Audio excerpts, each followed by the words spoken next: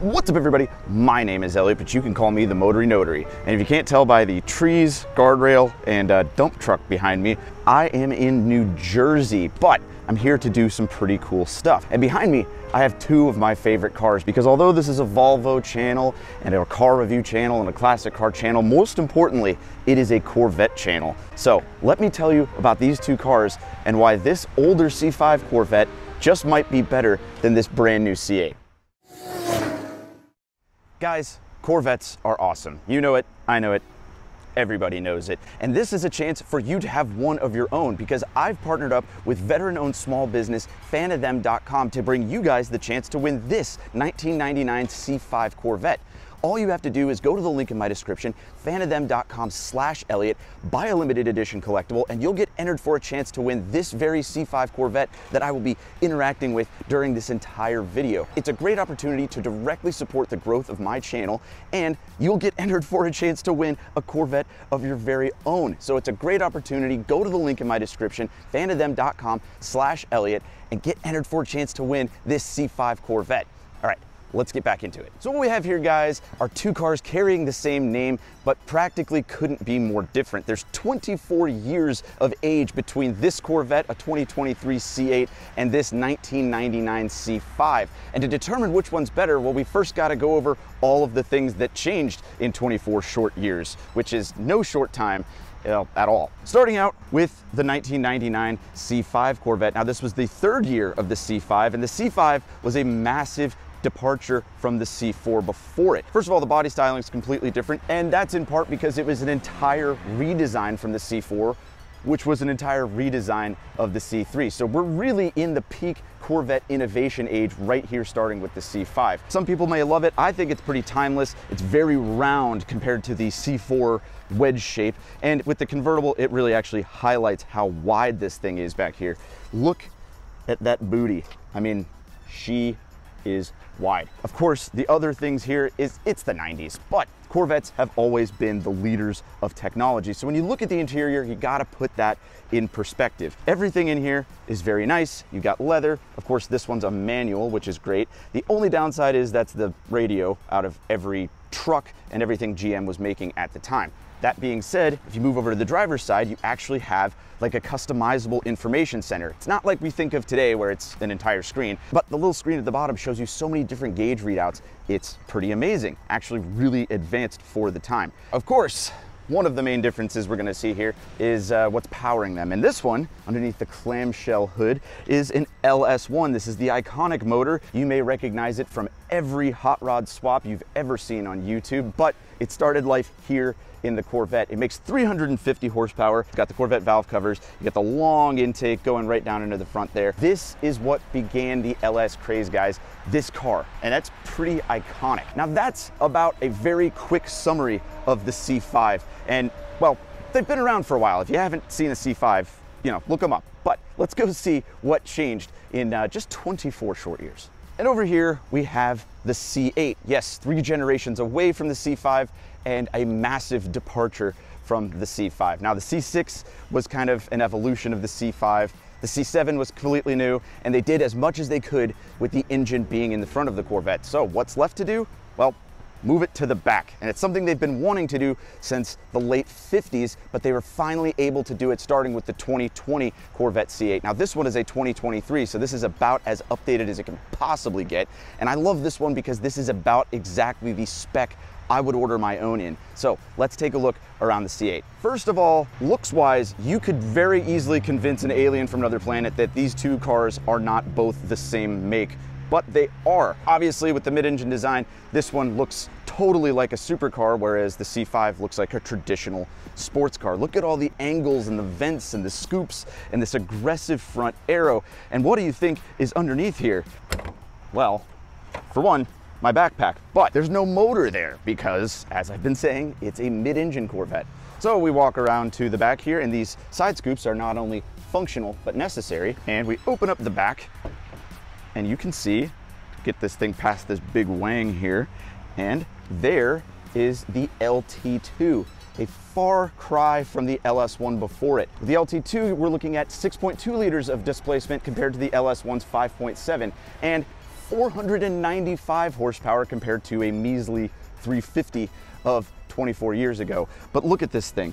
Absolutely a work of art, direct injection, beautifully displayed under the back glass here. And look, you have even more storage. This really is a crazy departure in 24 short years. But like I said, they've been wanting to do this for a long, long time. Now, check out the interior and see how far that came.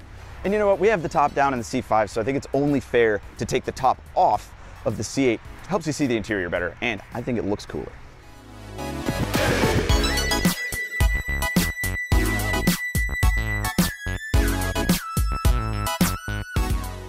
Okay, and there, and minus the New Jersey dump truck in the background, that is a cool looking car. Look at that. God, I love Targa tops. But look at this interior. Absolutely futuristic, even for 2024. A completely driver-centric driver's area, even all of the controls going down the side here. I don't know if you've ever seen how much it's a divider between the driver and the passenger, but it is a significant one. And of course, can't talk about the C8 without its infotainment system. So check this thing out. Screens everywhere, even the way to get it in gear are pull paddles and push buttons, completely futuristic stuff. And of course, the steering wheel, if you've never noticed, is square. And not only does that help you know where your hands are on the wheel, but it also helps you see the huge screen very, very well. Of course, we also have Apple CarPlay, which is an absolute necessity in any modern vehicle. And if you can see that on the windshield, heads up display in full color. Very, very cool. Of course, behind me, we also have a speaker and a wireless charger. And then behind that, the motor. But of course, the best feature on most new GM vehicles is the rearview mirror because, well, if you look here, it's a real reflection, and then you flip it, and now it's a camera. Now, of course, I've never driven the high wing model of the C8 before, and it just is a view of the wing. Still helpful nonetheless. Now, let's get these cars out on the road and talk about the difference in driving experience. Okay, out on the road in the C8. Now, I've done a video with one of these before. I rented one for my ex-girlfriend in Arizona and she hated it. Check out that video if you haven't. But this is my first open top experience in the C8 because the C8 convertible I rented in Arizona, the top didn't work. Needless to say, this one's a little bit more functional. Going through the curves here, look at these trees. You can definitely tell I'm not in Kansas anymore. But man, this thing, oh, 495 horsepower, but in this layout, with this dual clutch, absolute rocket ship. I actually have curves to deal with here, unlike in Kansas, and I can tell you, handling is amazing. Oh, and then you can open it back up after the corners. It's so good. Oh no, a stoplight, a chance to use one of my favorite features.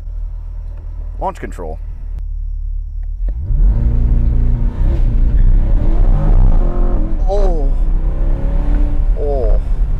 That is one heck of a launch. Of course, the computer helps mitigate traction and everything there, but with the engine in the back and 305 tires, woo, that is fun. This car has the Z51 package, which of course gives you all the goodies, including the good exhaust and five extra horsepower, bigger Brembo brakes, better tuned suspension, bigger sway bars, and I'm telling you, this is the road for this thing. uh, let's give it another rip. We have to. That's what this is for. Oh, man. Yeah, so I'm driving these in kind of an odd order. I know that because, well, this is the newest, fastest version of the base Corvette. And uh, of course, it's going to be sharp and fast. But does it have everything? Does it have that old school charm that the C5 does? Well, we're just gonna have to find out when we switch to the C5. But man, this thing is an absolute riot. Oh, and with the twist of this knob, I can make it even sportier, as if I needed help. I'm telling you folks, top off in a C8 is uh, pretty hard to beat. Oh, the crack on the upshift. Oh. okay, uh, this has been a hoot, but let's go get in the C5. Okay then, out in the C5.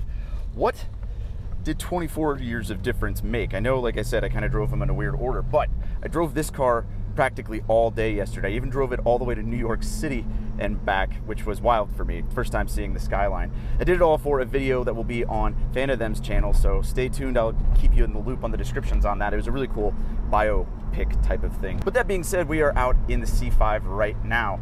Now, I know the C8 had a Targa top and the open top experience was something, but this is a true convertible and there's nothing quite like it. Guess what? You can see what I'm doing right now. This one has a manual transmission. And with the top actually fully down, unlike a Targa, still get a great sound. And man, whew, that's a ton of speed. I know 350 horsepower might not seem like a lot today, but believe me, this car doesn't weigh that much. It's got pretty wide tires. It is plenty to feel fast and potentially get yourself in some trouble on roads like this. This is something. The shifter feels great. Excellent positive engagement. Clutch feels good. Brakes are really good.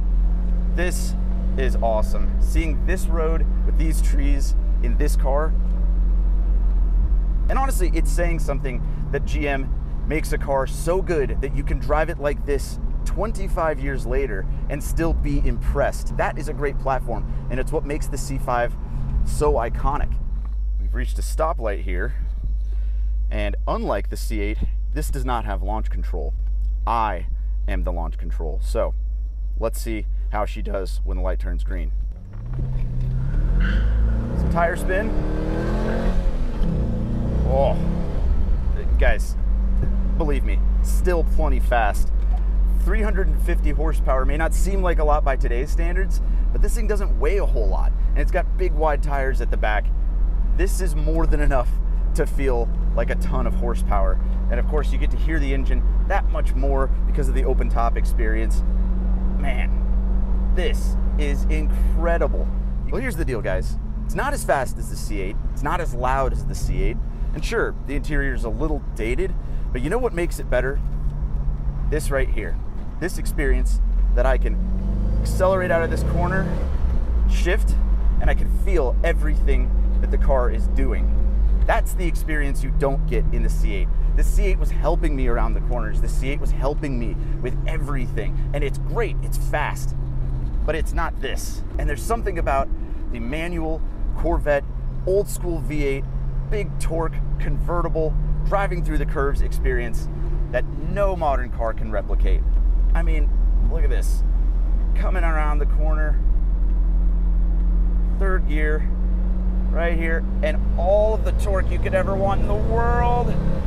And I got to shift it myself. This right here, and this experience, this feeling, the steering, this whole event is what makes the C5 that much better than the C8. So there you go, guys. Both cars are a ton of fun. Both cars are very different. Both are fast in their own right, but somewhere between 1999 and 2023, we lost that mechanical feel, and you do get that in the 1999 C5 Corvette. So while the C8 might be crazier looking and faster and safer and all these other things, you just don't get a driving experience like the C5 anymore. And that's why the C5 is better than the C8. And this C5 could be yours if you use my link at fanathem.com slash Elliott. Remember, all you have to do is buy a collectible item and you get entered for a chance to win this very C5 that I've been driving today in this video. It's a great chance to support this channel and heck, who doesn't want a chance to win their very own Corvette? Remember, go to the link in my description, fanathem.com slash Elliott and get yourself a collectible and get entered to win this Corvette. Thank you guys for watching. Thanks fan of them for all of this experience. And I will see you guys on the next video. Be sure to follow me at all my social medias and all that normal jazz. And we'll see you guys back in Kansas. I'm gonna miss the highway noise and of course my dump truck, but you know, there's no place like home and well, Kansas is home. Thanks for the sights and sounds, New Jersey. And for all those wondering, no, I normally don't drive convertibles with the windows up. I think it looks well, embarrassing. But I had to do it for the audio quality. Meanwhile, people are wondering why I'm driving around looking like a weirdo with his windows up, talking to no one. But this is the life. And this is a corner. Woo! And a mountain of torque. I mean, this thing is just unreal. I mean, I cannot believe this car is 25 years old. Absolutely cannot. I'm not even slowing down for this corner. There's bumps. It's not getting unsettled. This, it, GM made a heck of a thing when they made the C5. I'll tell you that.